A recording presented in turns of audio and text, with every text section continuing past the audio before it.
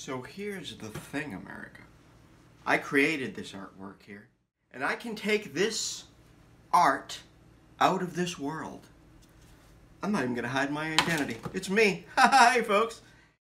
Artists struggle to express beauty in form, in color, in sound. So I made this piece of art for somebody who believes that the blood of Christ is her path to salvation.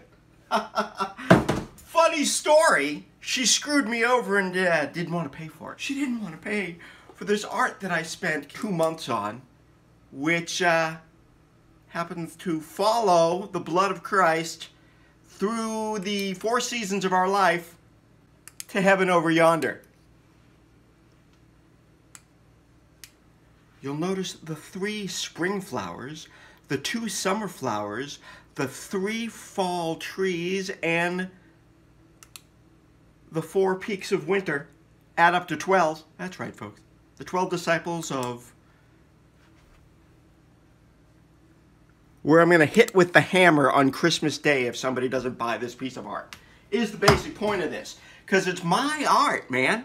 I can fucking destroy it if I want to. And I kind of do. Because I spent a lot of time on it only to get screwed over by someone who thinks she got a loophole where she doesn't have to listen to Christ's teachings. Blood of Christ. Oh, that's all I need. I don't have to listen to his teachings. So kind of want to just destroy this. Just for the video, like I wouldn't do it right now because there's only that one camera going. But I would have like one camera, I'd have my laptop set up for a live feed and then I'd have the two iPhone 6s set at slow motion. And I would just, I'd wind up with that hammer, where is it? I'd wind up